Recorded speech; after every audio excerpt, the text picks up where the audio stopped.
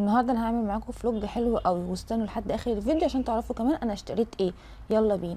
النهارده بقى رحت افتتاح Metal Design. هو أصلا في الأساس بيبيعوا حاجات metal online. وهم أخيرا الحمد لله فتحوا آه store علشان الناس برضو بتبقى عايزة تشوف الحاجة على الطبيعة وفي ناس بتبقى عايزة تشتري حاجات جاهزة بيبقوا مستعجلين. ف أنا بقى كنت متحمسة قوي إن أنا أصور الحاجة عشان هي بجد عجبتني قوي وهوريكم أنا اشتريت إيه في آخر الفيديو.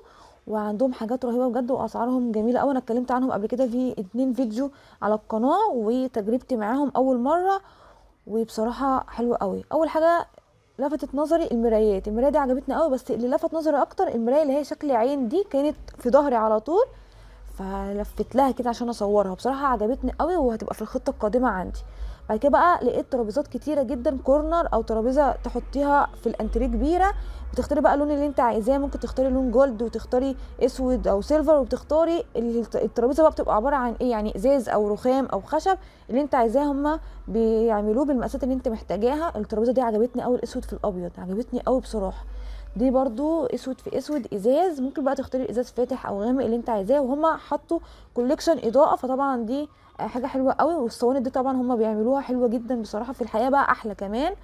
ده بقى console أعتقد إن هو اسمه console وده أنا آه عجبتني قوي وأنا بحاول أصور ال finish بتاع الحاجة علشان في ناس بيبقى عندها وسواس طبعا في finish الحاجة طبعا بصوا عاملين إزاي طبعا انت بتختاري الرخام اللي انت عايزاه بتختاري كل حاجة هما برضو بيدوكوا النصايح علشان ممكن تكون انت مش فاهمة في حاجة أو مش فاهمة في material معينة فهم بيفهموها لك أكتر. ده بقى كرسي بار فلو انت عندك بار ده حلو قوي يعني إيه وسعره كان جميل يعني سعره مش غالي خالص. فممكن بدل ما تحطي كرسي خشب عادي ممكن تعملي كده. أنا صورت تفاصيله كلها وممكن تجيبي أي شكل انت عايزاه برده هم هيعملوه. ممكن تنزلي application Pinterest لو انت ما عندكيش أفكار وهم بيعملوها لك. هم برده عندهم أفكار كتير. ده برده واحد محطوط عليه فرو كده برده حلو قوي. أنا كنت عايزة أقعد على كل الحاجات دي بس يعني إيه الدنيا كانت زحمة شوية بسم الله ما شاء الله فكنت لما نفسي شوية. وحدة الارفف دي بقى عجبتني قوي وحسيت إن هي عملية وفي نفس الوقت حلوة يعني جميلة جدا. ودي ترابيزات طبعا كورنر اللي هي الثلاثه مع بعض ممكن تعملي واحدة أو اتنين زي ما أنت عايزة يعني أنت حرة. حاولت أصور الحاجة بتفاصيلها بالظبط علشان تفهموني أكتر. ممكن تحطي بدل الإزاز ده رخام أو خشب اللي أنت عايزاه. بقى الشواية دي عملية قوي.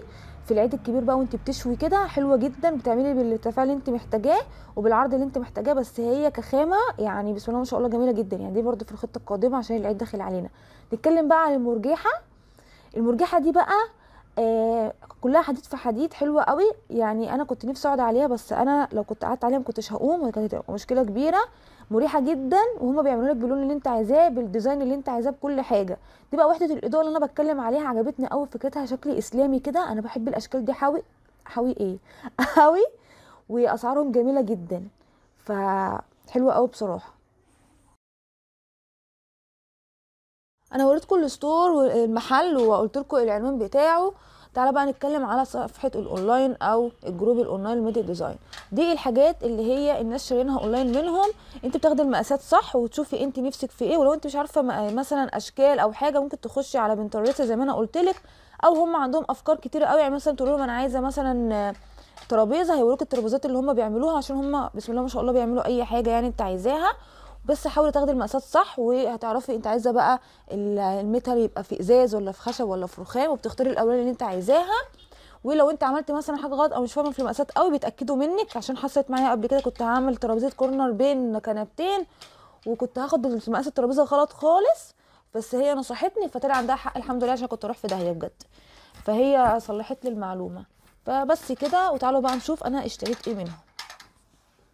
تمام. أنا بقى طلبت منهم وحدة الأرفف دي بصراحة عجبتني قوي. جبتها على حسب المقاسات اللي أنا محتاجاها علشان المكان اللي كان تحت ده كان مهجور خالص. يعني مش مستغل بمعنى أصح وأنا اوضتي صغيرة.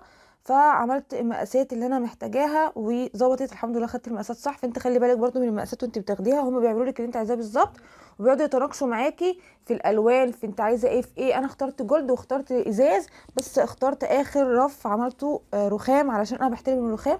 وفي نفس الوقت هحط حاجات تقيلة فيه. فقلت يبقى شكله حلو. تمام؟ أنا لسه مستلماها حتى لسه ما شلتش اللي هي الفويل اللي هما الاسترتش اللي هم بيعملوا بيه هم بصراحة بيوصلوا لك الحاجة ملفوفة كويس علشان لو إحنا بنطلعها وكده. بس هو ده شكله وعملي قوي وفرحانة بيه لسه بقى هظبطه. ف تابعوني عشان تعرفوا إحنا هنظبطه إزاي. طبعا ده مش أول تعامل معاهم ده أنا اتعاملت معاهم كتير قبل كده عملت قبل كده مراية وعملت مكتبة زي دي بس الأرفف كانت خشب.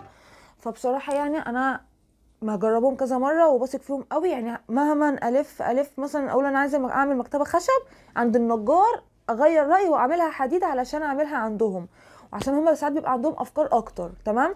وبيدوكي أفكار كتير جدا وأنت ممكن تجيبي أي فكرة من على Pinterest عادي وهم يعملوها لك على حسب المقاسات أو لو أنت عايزة تغيري فيها حاجات بيغيروها لك عادي وبيصوروا لك برده مراحل التصنيع بيصوروها لك قبل ما تدهن بيصوروا لك مقاساتها عشان لو أنت عايزة تعدلي أو عايزة تضيفي أي حاجة قبل ال finish بيعملوها لك يعني بيساعدوكي وبي... والتسليم بيبقى في نفس الميعاد اللي هم قالوا عليه تمام؟